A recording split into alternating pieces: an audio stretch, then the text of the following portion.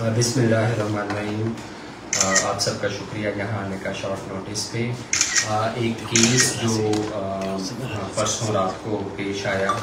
کمان گرا کے علاقے میں جو حدود تھانہ نوا گئی کی بنتی ہے، اس میں ایک بہت ہی دل خراش واقعہ پیش آیا، جس میں ایک آٹھ سالہ معصوم بچہ جس کا نام معاذ تھا اس کی شد زدہ لاش ہمیں ملی اگلے دن۔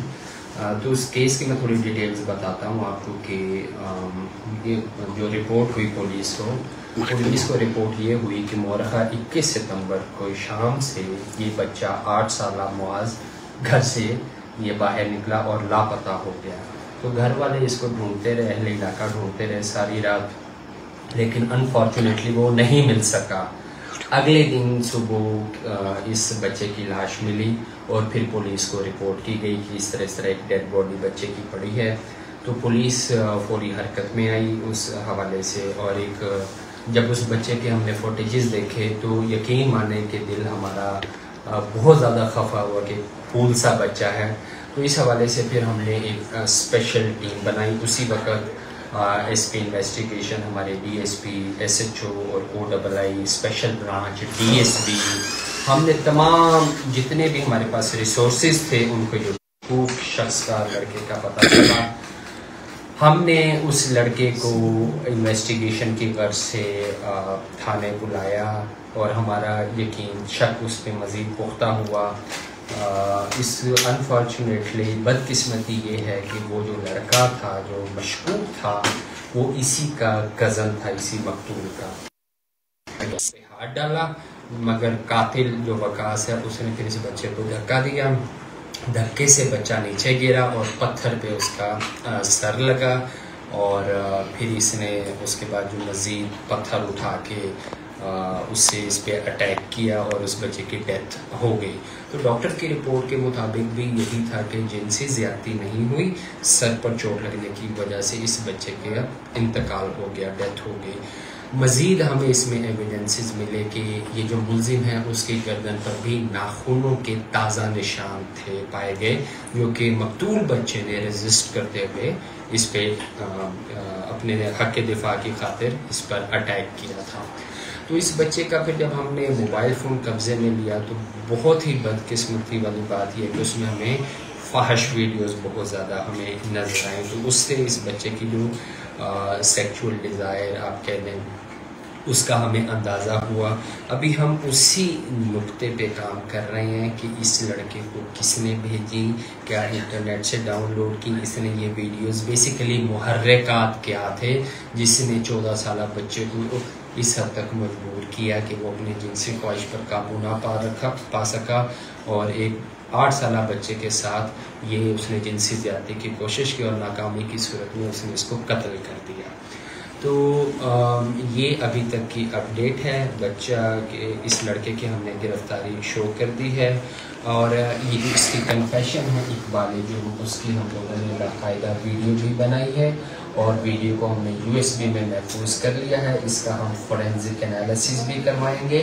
اور پھر عدالت میں اس کو ثبوت کے طور پر پیش بھی کیا جائے گا۔ مزید یہ کہ کل ہم عدالت میں اس بچے کو ریمانڈ کے لیے پیش کریں گے، کیونکہ ابھی ہماری مزید تفتیش باقی ہے کہ کیا اس لڑکے نے کسی اور لڑکوں، بچوں، کم عمر بچوں کے ساتھ تو ایسی زیادتی نہیں کی، زیادتی کی کوشش کی ہے یا آلریڈی وہ کر چکا ہے؟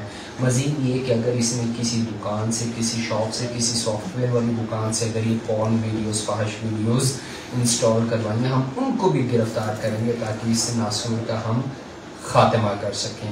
آخری بات میں یہ کرنا چاہوں گا کہ یہ چونکہ بہت افسوسناک واقعہ تھا، تو اس میں بحیثیت قوم والدین کی بھی ہماری ذمہ داری ہے کہ وہ بچوں پر خصوصی نظر رکھیں، ان کی ایکٹیویٹیز پر، ان کی سرگرمیوں پر، ان کے بچے کیا کرتے ہیں، کن ایکٹیویٹیز میں ملوث ہیں، ان کے موبائل میں کیا ڈیٹا ہے۔ اگر والدین کی طرف سے اور as a society overall غفلت ہوگی تو اللہ نہ کرے مزید اس طرح کے واقعات رونما ہو سکتے ہیں۔ لہٰذا ہم سب کو مل کر قانون کو بھی اور معاشرے کو بھی مل کر ہمارے بچوں کے مستقبل کو محفوظ بنانا چاہیے۔ باجوڑ پولیس نے اچھا اقدام کیا ہے یہ کیا جو ملزم نے یہ اس کے والد کا کیا کہنا تھا؟ یہ تو آپس میں رشتہ داری بھی ہے۔ جی جی اور یہ جو یہ جو ریپ ہوا ہے اس کے والد کا کیا نیت؟ دونوں کے والدین کیا جی بیسیکلی جو اس بچے نے ایک والد جرم کیا ہے تو ہم نے ان کے والدین کو بھی بلایا مقتول کے والد کو بھی اور قاتل کے والد کو بھی تاکہ یہ بھی دیکھیں کہ ان کا بچہ کنفیس کر رہا ہے۔ تو آف کورس ایسی صورت میں والدین کیا کر سکتے ہیں؟ اب دونوں بھائی ہیں آپس میں۔ سو دیور سیڈ وہ افسردہ تھے اور وہ یہی کہہ رہے تھے کہ ہم لوگ کوئی دعوے داری نہیں کریں گے۔ کورس رشتے دار ہیں تو اب ریاست اپنی طرف سے پولیس اپنی طرف سے ان کو نامنیٹ کرے گی تاکہ قانون اپنی راہ ہموار کر سکے اور پولیس نے مزید کوئی تفتیش کی ہے کہ اس لڑکے کے ساتھ کوئی اور لوگ ملوث ہیں جی اس پہ میں نے آپ کو بتایا نا کہ چونکہ مرکزی ملزم گرفتار ہو چکا ہے جس نے قتل کیا اس نے اقبال جرم بھی کیا اور ہمارے پاس مزید ایویڈنسز بھی ہیں ابھی ہم عدالت سے درخواست بھی کریں گے کہ ہمیں ریمانڈ دیں۔ کیونکہ یہ بچہ چودہ سال کا ہے قاتل چودہ یا پندرہ سال کا تو جو بینال ہے کم عمر۔ تو ان کے کچھ حقوق دیے گئے ہیں قانون میں۔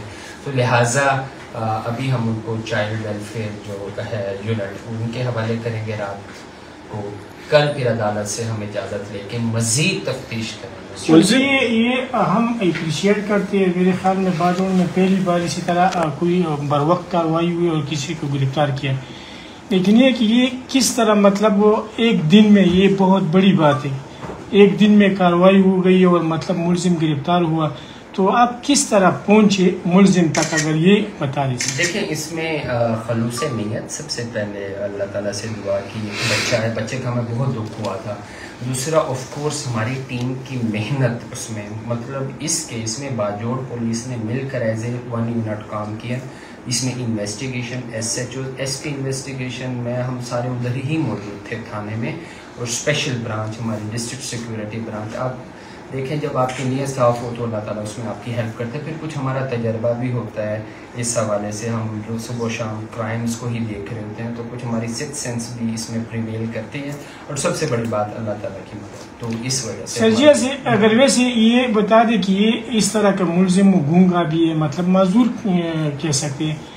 اس طرح کے ملزم کو کوئی سزا بڑی مل جائے گی، عدالت ریلیف دے گی، اس حوالے سے وہ تو عدالت کی بات ہے، لیکن پھر بھی اگر ایکسپی آپ کی ایکسپیرینس ہوگی۔ دیکھیں، عدالت بالکل کم عمر بچوں کو، جو کم عمر بچے ہوتے ہیں یا اس طرح اسپیشل اس میں ڈیتھ پینلٹی یا لائف امپریزنمنٹ عام طور پہ نہیں دیتی لیکن پھر بھی جس نے قتل کیا ہے، عدالت ثبوت کو مد نظر رکھتے ہوئے ان کو واقعی ہی سزا دیتی ہے۔ اس تو اس میں کوئی شبہ نہیں رہنا چاہیے۔ انشاءاللہ ہماری انویسٹیگیشن بیسٹ ہوگی۔